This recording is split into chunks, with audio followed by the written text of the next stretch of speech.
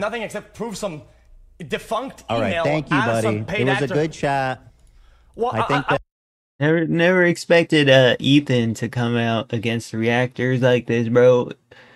XQC posted a tweet or something of like X of Ethan actually uploading like a reaction to Meat Canyon.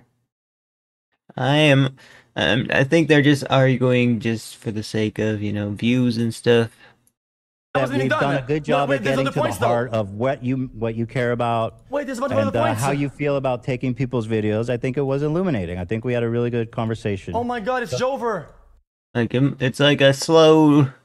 I I I- I'm in favor of reactions, guys. I think it helps the world go around, bro. Like when when somebody like Moist Critical uploads, it's it's like it's a reaction to the news.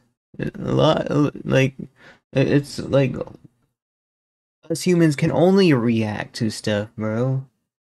Online. Well, like a lot of it's just like commentary. Commentary is a reaction, guys.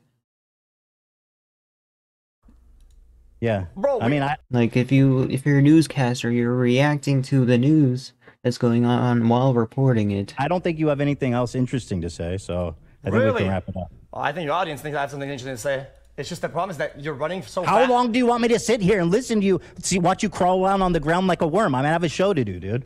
Unlike you, I actually fucking organize and put work into my show. I understand for you, you're just burning time. You could sit here for 12 hours. That'd make your life easier. You wouldn't have to go steal videos. But me, I planned this. I They're two different like you know lifestyles, bro. XQC is a streamer. Uh, Ethan's more of a like. Does he do like a podcaster streamer? I'm not sure if he does all his stuff on live, but he used to be like a YouTuber. XQC has always been like a streamer. It's been a stream highlight kind of stuff you'd see on YouTube, guys.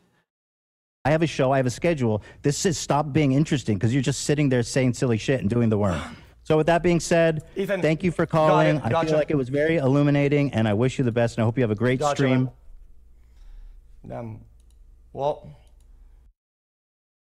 Dang, bro, he just kicked XQC, bro.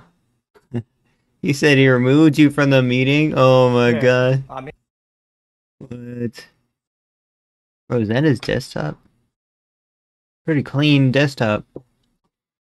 But yeah, guys, he got kicked out of the mini- meeting, guys.